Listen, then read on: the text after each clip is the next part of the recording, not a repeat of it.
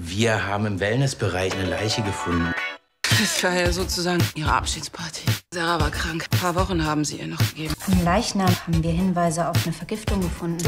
Sie hat sich umgemacht. Warum hätte sie Handschuhe tragen sollen, wenn sie sich das Gift selbst in die Champagnerflasche gemischt hat? Jede ihrer drei Freundinnen erbt 50.000 Euro. Was für eine Clique. Ich habe solche Freundinnen in meinem Leben noch nicht erlebt. Du bist ja wohl total bescheuert. Ja? Können wir mal bitte aufhören?